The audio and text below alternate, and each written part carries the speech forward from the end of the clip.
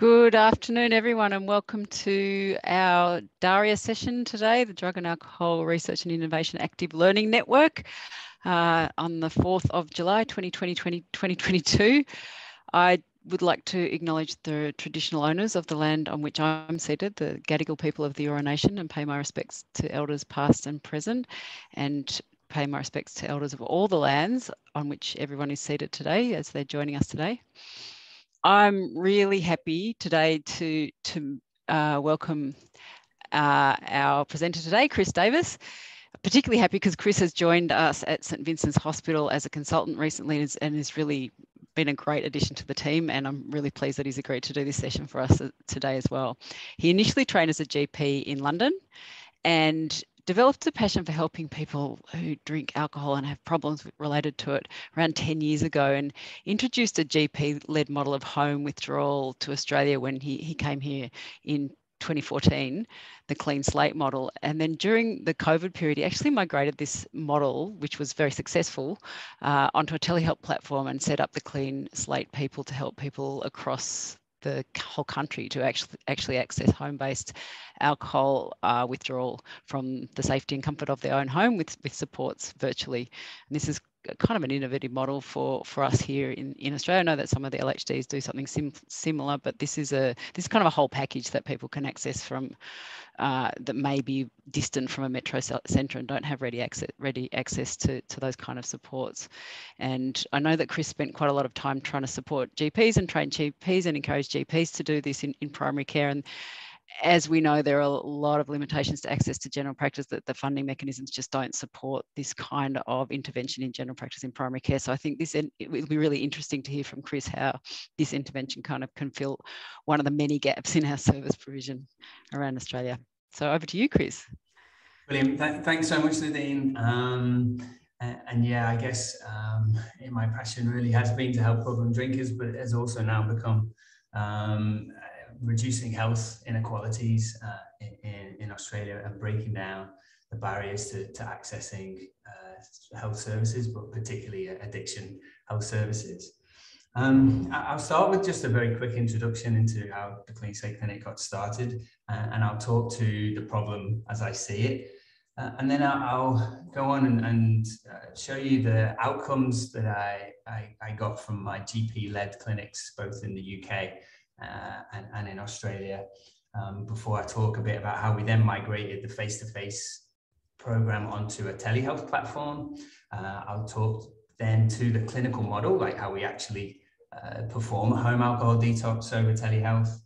I'll talk to the, the three-month outcome data that we've already got from the telehealth program. And then I'd also like to show you uh, very quickly uh, the resource page on, on the website that I've put together I sort of joked with my patients for years that I, I wanted to put all my resources onto a web page so I didn't have to hand them the, the reams of A4 paper that I used to hand them. And now I can finally do that, which is great. Um, and then I'll talk a bit about what, what I see that the future of the Clean Slate Clinic and the future of telehealth in, in healthcare. Um, and then hopefully we'll have lots of time for some questions uh, at the end.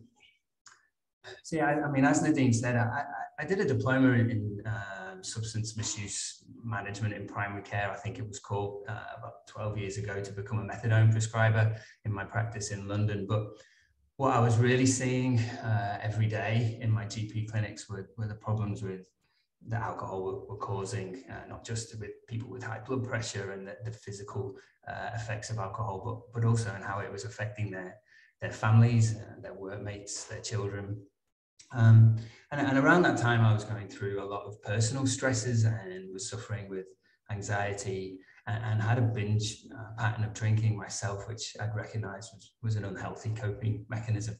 So I think part of my interest was a, a journey to, to self improvement as well. So I, I, was prescribing methadone, and in the borough of Wandsworth, where I was working, we, we set up three uh, mainly nurse led home alcohol detox clinics in an effort really to save the NHS money more than anything. Our specialist services were overburdened. They had high, uh, high costs and long wait lists. So myself and, and a couple of GP colleagues uh, began these home alcohol withdrawal um, clinics. And very quickly, it, it was it became the most rewarding thing I'd ever done in medicine to to see somebody in the throes of alcohol dependence with all of the problems that that causes to be able to say that that I can help the person rather than having to to refer them into a service to go on that journey with somebody and then see uh, see the, difference that that made in a very short period of time to them and their families uh, was hugely satisfying and so when I emigrated here in, in 2014, I was determined to bring this model uh, with me. And, and, and it was no surprise that we have exactly the same problems here in Australia with, with access to specialist services. Um, so I came over in 2014 um, and set up, uh, I, I, I, set up what I called then the Clean Slate Clinic. And I just had to adapt the NHS model to Medicare, which really meant that I had to see the patient every day during detox because there's no Medicare rebate for the nursing appointments. Uh, I had to streamline the assessment pack because it was taking my nurse an hour and a half to go through the heavy assessment pack I brought over from the NHS with me. So I designed it so that the patient could fill it out and bring it back in with them at their next appointment. Um, and then I audited my results, uh, which I'll, I'll, show you show you now. So so Chris, at the moment we can see your website. I don't know if you've got slides oh, for us as well. So yeah. Sorry. Yeah. So just while Chris is bringing up his, his slides, just to remind people, if you've got some questions, you can put them in the Q&A box or, you, or if you've got comments, you can pop them in the chat box. Chris can't actually see those, so I'll, I'll be reading them out um, to Chris to remind him if, if he doesn't get to answering those questions. But please fire away as we're going along. Is that better? That's better. Thanks, Chris. Oh, sorry. Um, so yeah, so since joining St Vincent's um, only a few weeks ago, I, I, really feel like we're, we're at the pointy end of the stick here, you know, really seeing the tip of the iceberg and people who are really sick uh, or have severe dependency issues. And, and uh, what I'd really you know, like uh, to to prevent is it's you know people falling in the river higher up and uh, and home alcohol detox really catches those mild to moderate dependents um, and, and, hopefully can prevent them from ever needing our inpatient services. I know I'm, I'm preaching to the converted, but alcohol is the most harmful drug uh, in Australia. Uh, an Australian dies every 90 minutes, costing us $15 billion a year. Um, what people might not realize is, is that most alcohol dependent people uh, can safely and successfully be detoxed in their own home and will have better outcomes if we can do that.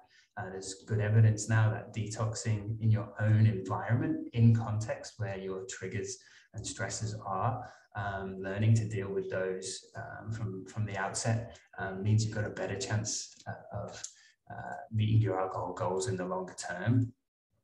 But we also know that it takes on average uh, 17 years for people with alcohol use disorder to ask for help.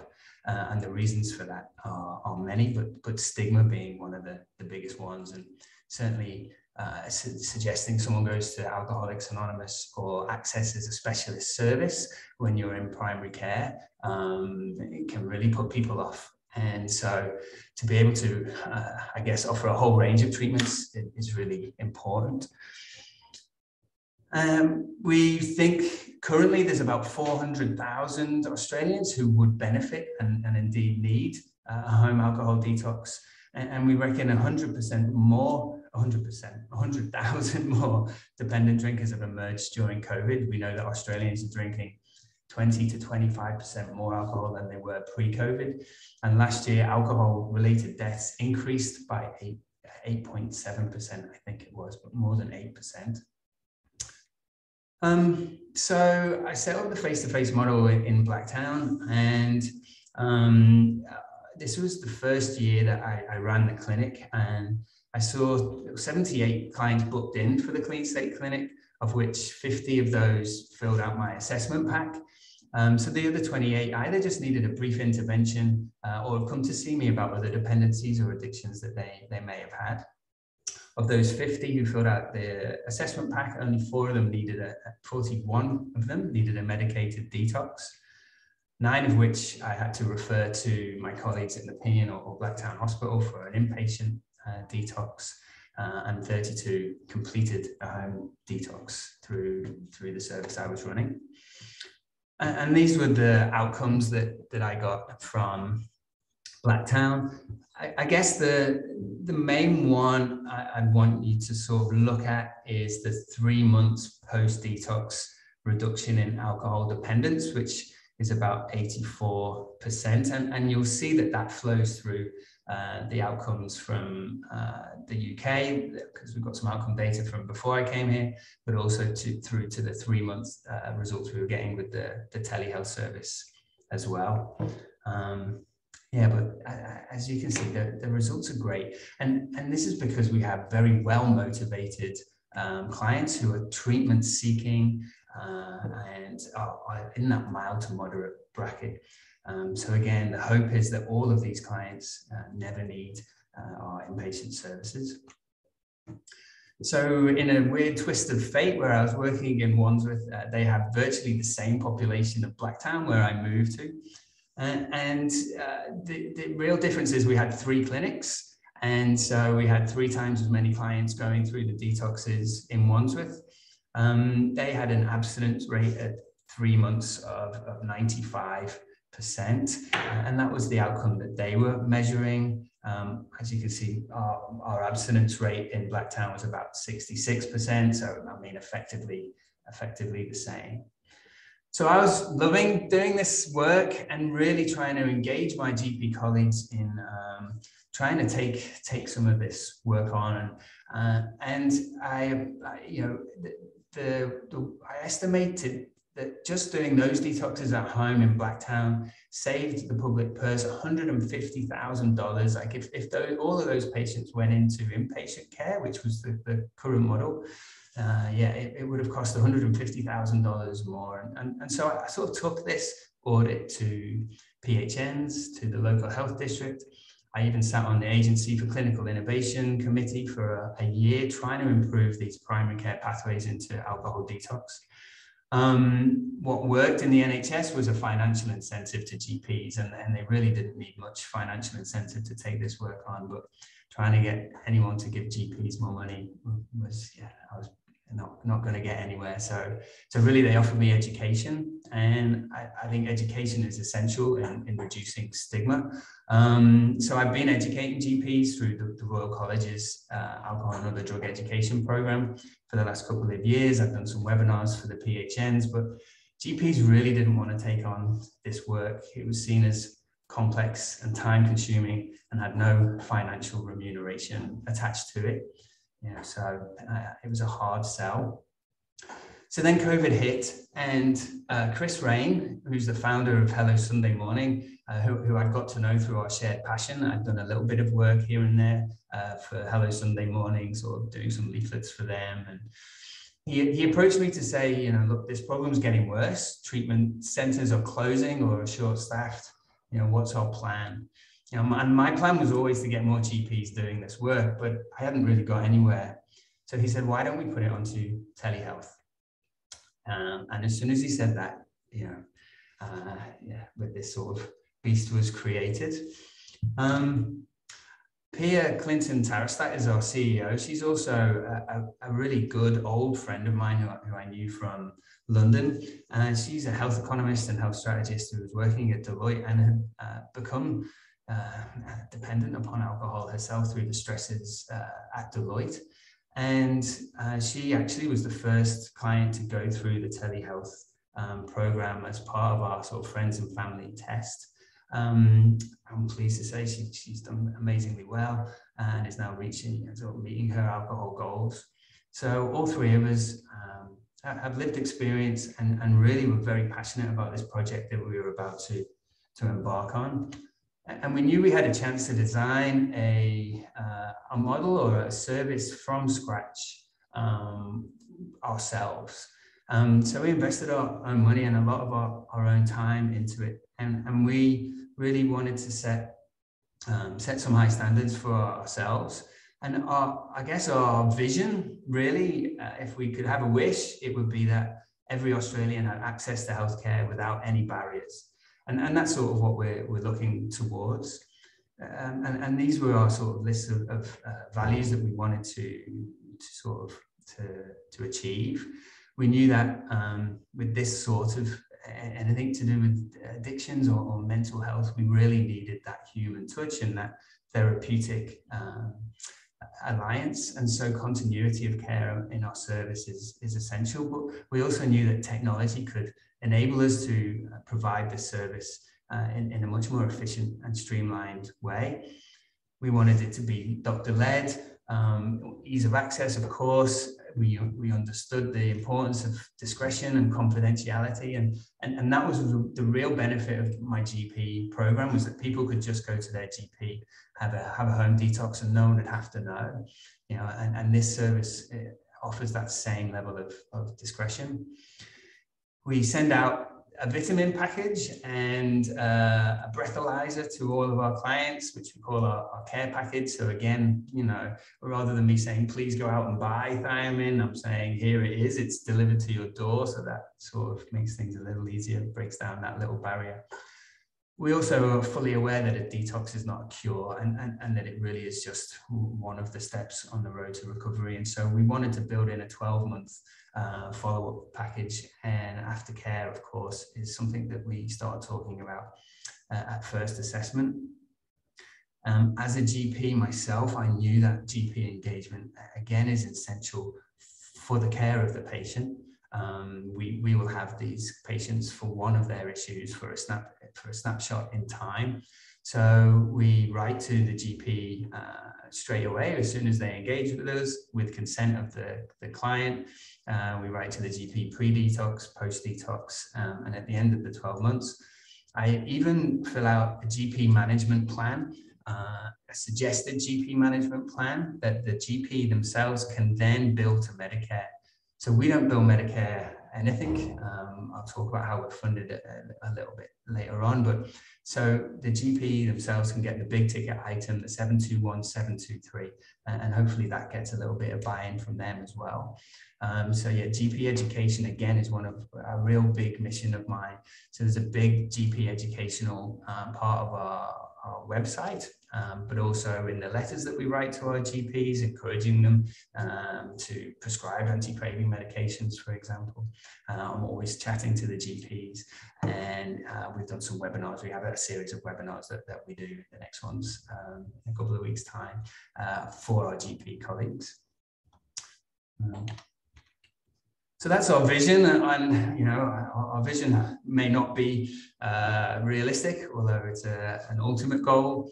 But um, we, we have a mission which we believe is, is more realistic, uh, which is really to improve the health and wellness of individuals struggling with addiction and to make withdrawal and recovery services accessible to more people who need them, which we feel is a little bit more realistic.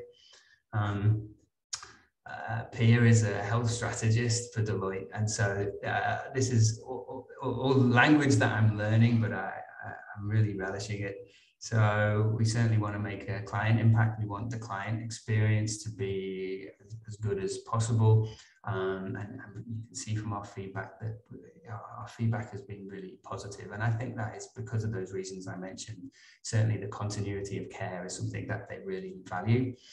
Um, Chris Raine is really ambitious and he wants us to uh, detox 10,000 Australians, which, which sounds like a huge number, but um, when there's 400,000 we estimate needing a detox, actually, um, that still is just a small number. Um, the research impact is really important. I, again, this has to be uh, guideline driven and evidence based. It's a very medical model. And we're very lucky in that the University of Sydney, uh, Paul Haber and Kirsten Morley are uh, evaluating our, our results. So by December, we should have 12 month outcomes and hopefully we will have um, proven that this is uh, this is a feasible mode, uh, a feasible model of, of home detox. But we are a for-purpose company. Um, we are really driven by uh, making a, a, social impact, uh, and so our our real um, our real goal is to service those vulnerable, hard to reach populations um, we've we've just hired our first uh, female Indigenous GP, and we're working with the PHNs in, in Western Queensland and, and, Western New South Wales um, to really make this culturally sensitive um, and uh, yeah, to be able to access communities uh, that, that otherwise wouldn't be able to have treatment is, is a huge goal for us. Very exciting.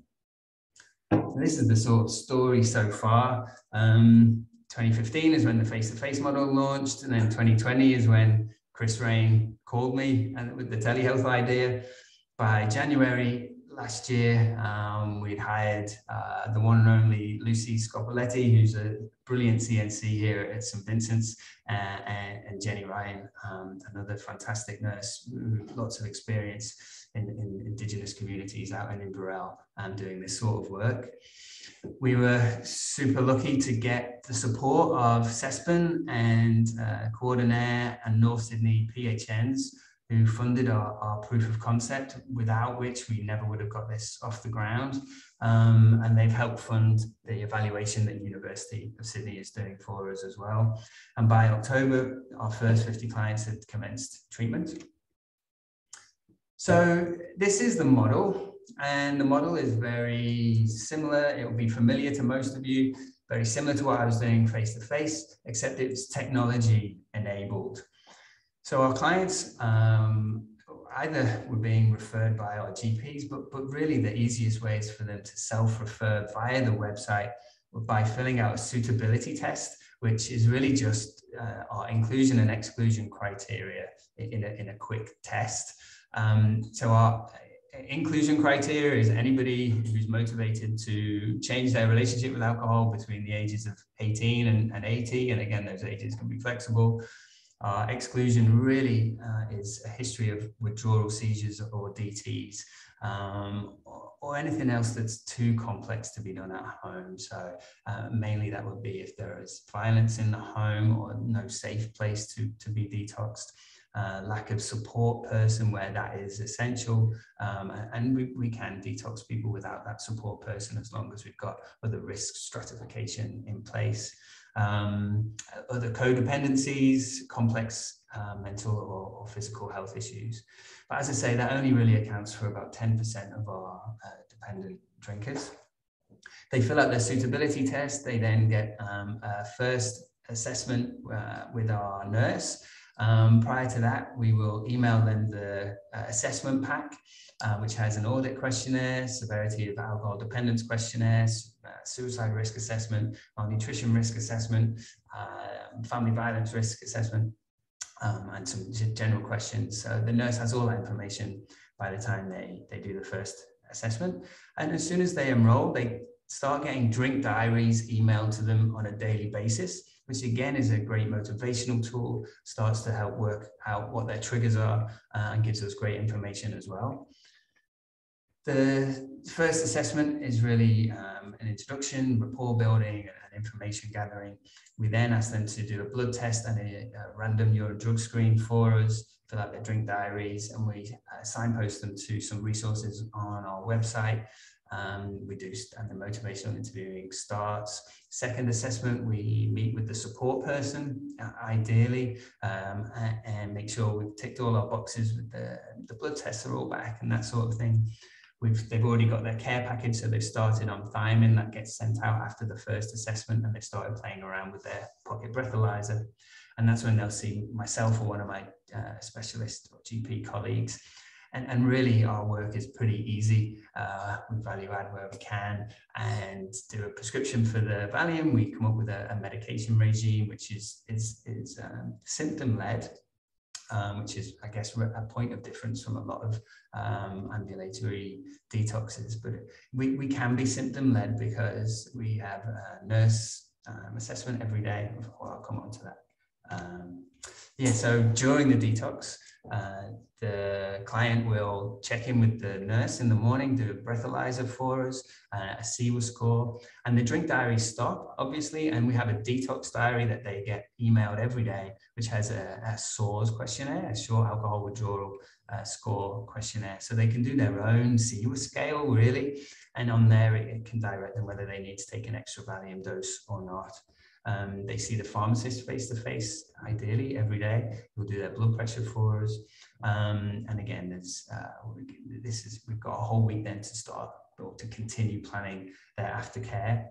The end of the detox, myself or, or one of my colleagues will, will see the patient, see how they've gone. Um, again, we'll do our GP letters pre and post detox, and we'll um, prescribe anti-craving medications uh, as we see, um, uh, you know, whatever they, whatever we think is best for them to, to be prescribed. Um, and then we write to the GP to say what we've prescribed, why uh, we've prescribed them. Um, and then the follow-up carries on for, for 12 months. The nurse will check in weekly for the first month and then monthly for the first quarter, then quarterly after that. Um, and again, one of the beauty, beautiful things of this being tech enabled is that it's so easy for us to catch uh, brilliant data. Uh, we, we, weren't so good at first. We weren't getting those one month outcomes and, and we weren't sure why because we were sending out the emails. But now we've just built it in that they, they can't actually go on and have their appointment until they've done a very quick audit and K10 questionnaire for us. So um, yeah, so now we're catching, catching really good data. So we can get um, great demographic information, um, which is pretty interesting depending on um, what you're interested in, in looking at. Uh, and then we get some really good baseline characteristics as well. Um, what was really interesting was actually how much our clients were spending because they're, they're, filling out their drink diaries and telling us exactly how much they're spending, well, an approximate amount of how much they're spending every day. Uh, the average monthly spend was $910 a week the 12 month program is $3,000. So all they have to do is stay abstinent for, for three months and they've already made their, their money back.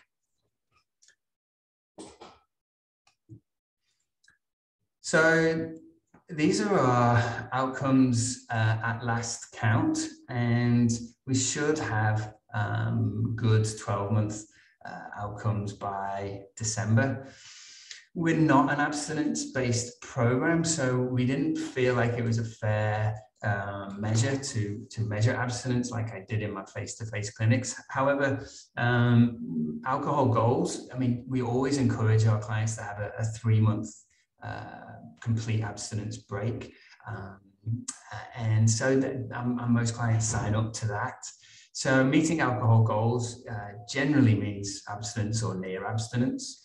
Uh, reduced alcohol dependence will be, well, no, I'm not, not quite meeting my goals, but they haven't really met the criteria for a lapse or a relapse. And we have, uh, we have lapse and relapse pathways that the clients will then follow if, if that happens. Um, what was really interesting when we were um, talking to private health insurers about these uh, early outcomes was that Bupa, um, who, who have now signed a contract with us to deliver this for them for 50 of their clients in, in Queensland. Their not, not just their relapse rate, but their one month readmission rate. So their current uh, uh, their current pathway was to a three week inpatient private detox and rehab. Their one month readmission rate was 28%. So you can see, you know, our, our relapse rate at three months is 10%, theirs at 1% was 28%. So again, this is a hugely cost-effective uh, model for, for private health insurers as well, should they, should they want to follow suit. The clients, really, uh, we haven't had any complaints. Um, the the only reason we didn't score a zero on the I experienced unexpected harm or distress as a result of my care, that sort of fifth bar down, was because one client um, was upset that he, wasn't aware of the risk of seizures or DTs, and, and he, he was a heavy drinker. And, and he said that caused a lot of anxiety, sort of facing the fact and being told that he was at risk of these serious complications. And so that was an unexpected distress. Um, but yeah, I mean, the, the outcomes are, are fantastic. Uh, and this is just some of the, the feedback comments that, that they've given us. Um, yeah, and, and I think for, for Pia particularly, who's been working in, in public hospitals and, and private hospitals during her work as, as Deloitte, she said that, yeah, this is it's, it's unusual to see um, such good good feedback. Um, so uh, what I think uh, the, one thing which I think would be useful for pretty much everybody who, who is watching or listening to this presentation it is uh, is the website and the resource part, uh, resource page of our website. As I say, I've, I've been helping people uh, through Home Detox for over 10 years. And so I've sort of gathered resources that I like, and, and I just have had to keep printing off all these pages. And to now have this all in one place is really exciting for me. So we've got a resource page for the patients, uh, for the support people, uh, a resource page for GPs, um, and it's completely free for, for anybody to use. Um, I'll just, just stop the share and hopefully I do this correctly. Uh, can you see the website now? Yes, we can. Um, so it's just cleanslateclinic.com. Uh, and if you um, a lot of it is just information about the telehealth service, but if you go to the resource tab and click on patient resources, there is uh, uh, a first page of external resources. Um, so there's links to uh, podcasts and blogs. Uh, there's some free online counseling, uh, not, not run by us. Uh, there's sort of examples of phone apps, which I think are good, including Daybreak, which I think is excellent, which is how I sort of got involved with, with Chris Raine initially. Uh, Recovery Elevators got some great podcasts. There's some uh, sobriety clocks and counters. I Am Sober, I think, is probably the best example of, of, of that. Um, then what I particularly like uh, is uh, the, the link to the TED Talks. There's a lot of um, not so good TED Talks out there. Um, oh, this is restricted because we're at Vinnie's, but you can actually just click on the link and it will play. So that's sort of an easy win for, for most patients. It's just 10 minutes out of their out of their day, and I, and I think they really offer value. Um, we've got some website links. Uh, Sober in the Country have been a really important partner for us uh, through Sober in the Country, which is run by Shanna Whan, who, who recently became an Australian uh, local hero of the year. Uh, through them, we've been getting a lot of referrals and, and building a network in regional and remote Australia. And that's really been very, very exciting. And, and with their help, we a, a philanthropic grant of $150,000 from the Snow Foundation so that for those people who, who can't afford to pay, which is a lot of our clients, um, they can access the service for, for free or with a small co-payment. And this Naked Mind, I, I, refer a lot of people to. I think it's excellent. They do a, a free 30 day uh, sort of outpatient program, if you like, just through email and video links, um, and then a few more, uh, through a few more pages there. Um, and again, there's there's so much so many resources out there. I think to have them all listed in one place is really helpful. Um, again, just some books which I think think are good. Um, but so they're the external resources. We also have just some resources depending on where the client is in their their journey. So we've got some preparation resources talking about the importance of thiamine, writing a pros and cons list, some brief intervention stuff, and self-management work. Uh, we've got a link to that short alcohol withdrawal score I was talking about that they get emailed to them. Um, they can't find that email, it's on the website. Uh, craving control leaflet that, I've lifted from Turning Point, which I think is excellent. And so the support person information is there too. And, and then we also have the um, uh, some relapse prevention um, work and some leaflets about the anti-craving medications in, in that page. Um, there's the, the, role of the support person, again, is so key. Um, and again, the role of the support person is a large part um, is in yeah is a large part of why home detox is often more successful than inpatient detox because they feel involved that they have a role which which they do um, but we can also reach out and, and help them um, as well and, and, and, signpost them to, to some excellent external resources um, and again turning point to a brilliant friends and family program called, called Breakthrough that I refer a lot of people to. Uh, and again, some more support person resources there. Uh, and then there's our GP educational material as well. So uh, there's a couple of um, webinars that we've done from the Clean Slate Clinic team. There's the wonderful Lucy uh, and Hester Wilson who works with us, uh, and some webinars for the GPs and a link to the latest alcohol treatment guidelines as well. Okay, so try put you back to the presentation. Um, so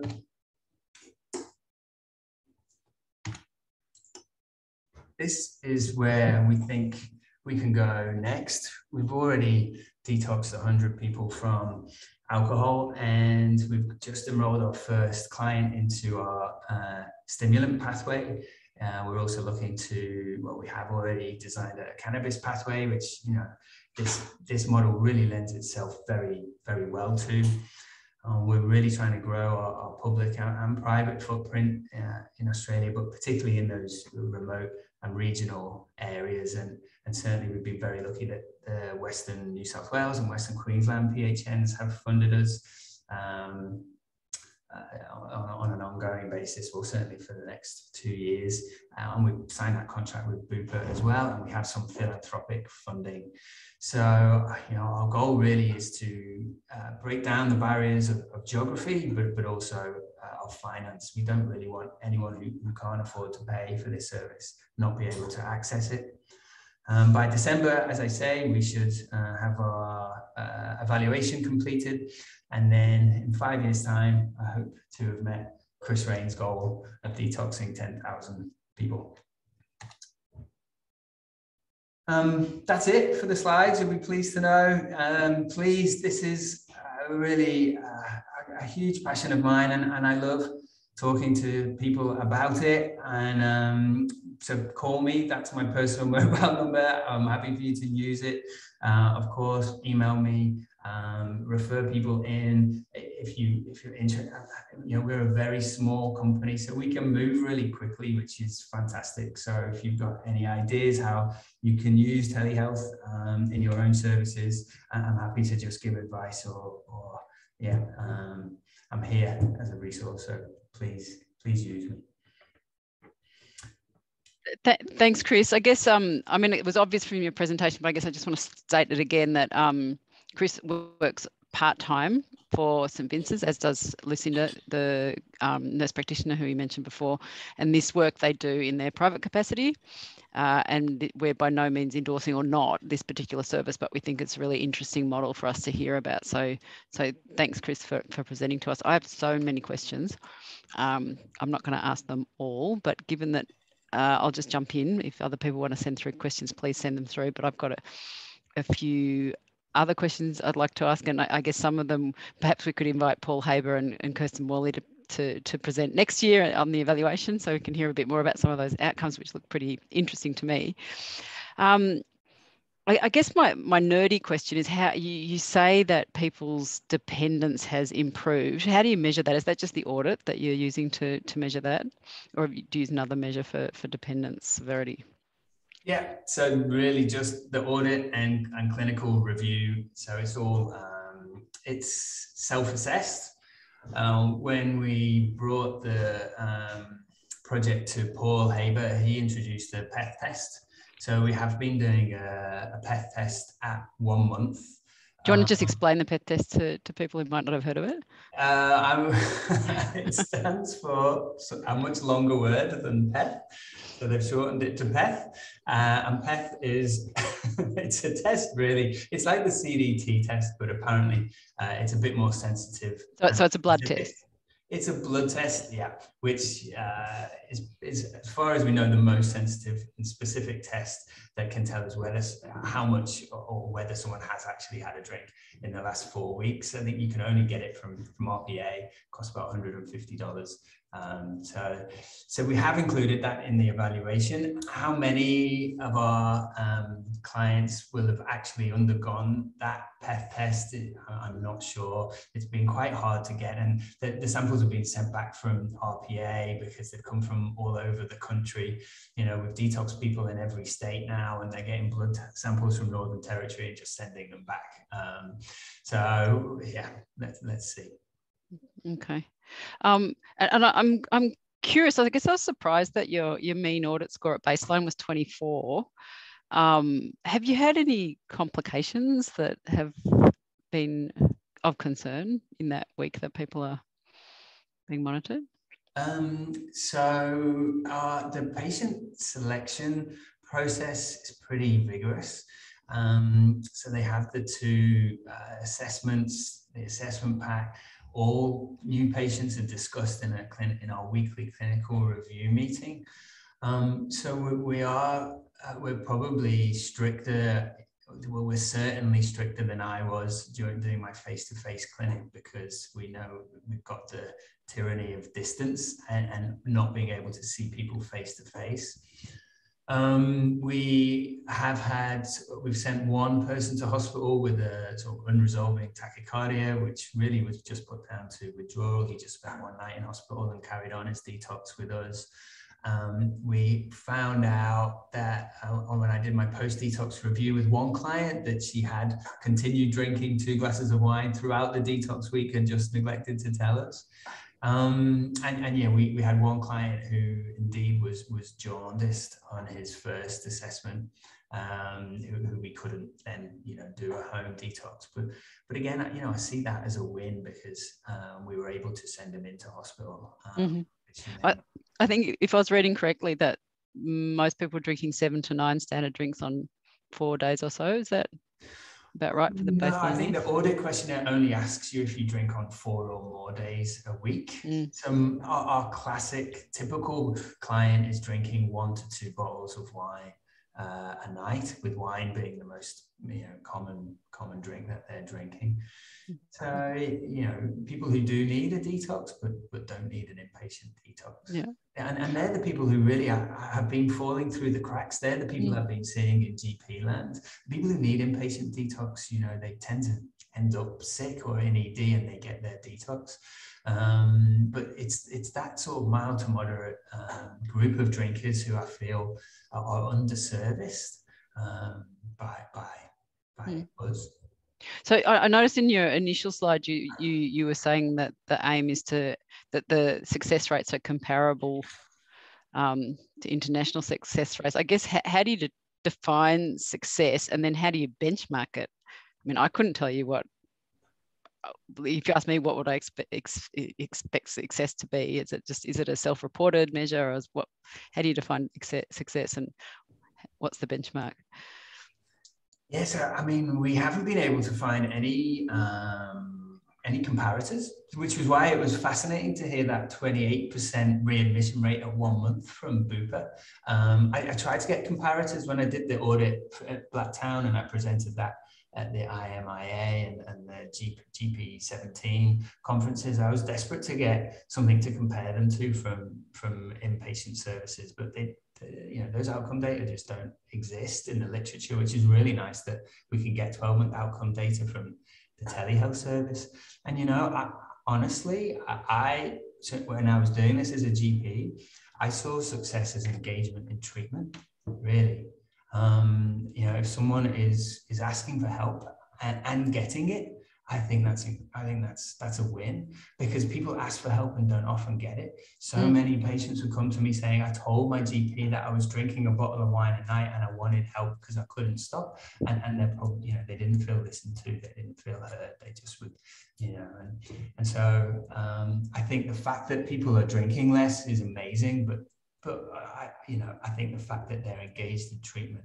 um, is probably how I would rate success. Mm-hmm. And do you expect people to stick around for the year, or is that bit kind of optional in, in the package? Interestingly, um, the people who have dropped out, so people really like the support from the person who went through the detox with them, so Lucy or, or Jenny. Um, so most people have are, are, accessing that support. The people who've dropped out really are those who've, who've relapsed. Um, and, and, we can be assertive, which is really nice. We have their email address, we have their phone number. Um, and, and, and, and I think that's uh, one of the advantages of us being tech tech enabled is that you know we can really we can get into their in, email inbox and, and we can send them texts. I mean, I know we can do that as, uh, from the hospital. So and they consent for that at the at the get go, do they? Absolutely. So in their assessment pack, they've got a list of things that they consent to, including contacting their GP, use of their anonymized data, um, contact details, contacting their support person. Um, and we haven't had many problems with that. People will often not consent us to speak to their GP. But then when we explain why that's important to us, they either do consent or they find another GP in their locale. I, I mean, that's the problem with the, the regions is that mm. they'll have one GP in their town um, who's been their GP forever. Uh, and, and so, you know, we're facing that problem now where we've got a client who works in the town's GP surgery uh, and is friends with the GP and really doesn't want us to contact them. Um, and again, we've just got, got to sort of try and stratify that risk and, and work around that because we don't want to deny anyone care for, for that reason. Mm. And, and you've been going there since October. Have you had anyone coming back for a second go?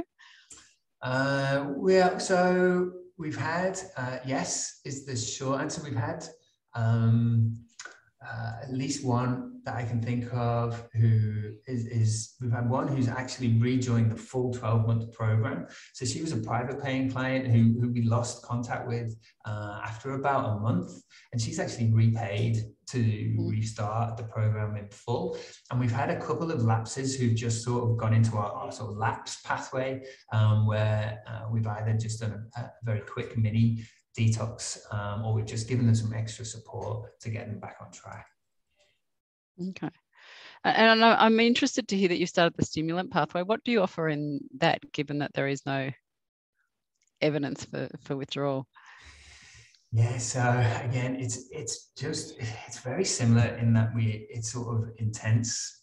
Um, you know, it's the daily check-ins, it's that psychosocial report, um, it's that uh, that signposting, and, and, we use a little bit of, of Valium or um, olanzapine if the specialist deems it to be useful. Um, and, and again, we can give very small you know, scripts with very small quantities on them. Uh, again, there's a there's a daily check-in, and, and then there's a 12-month follow-up. Um, so it's sort of less medication heavy and more uh, psychosocial heavy. We've got a we have a psychologist attached to us who, who we can offer three sessions of, of sort of first aid psychology uh, to people who don't already have a psychologist. Uh, and we've just employed um, or we're not employed, that's the wrong word, but we've just sort of uh, enlisted a, a, psychotherapist as well that we can we can signpost to who's got a lot of experience in, in the addiction field. But really that sort of support and signposting. Uh, um, I won't disturb you with the rest of my long, long list. um, I can't see any other questions from any of our friends online or any of our other panelists. So we might just thank you for your time. And um, do uh, will the that website is up there on on the screen there, and I do I do um, remind people that, that there are a number of resources there that people can find useful with their their clients as well potentially. And there's a comment here from Rob Page to say it was very impressive. Thanks, Chris. so thanks, Chris, and have a lovely afternoon, everybody. Thanks, Nadine. Thank you. Bye.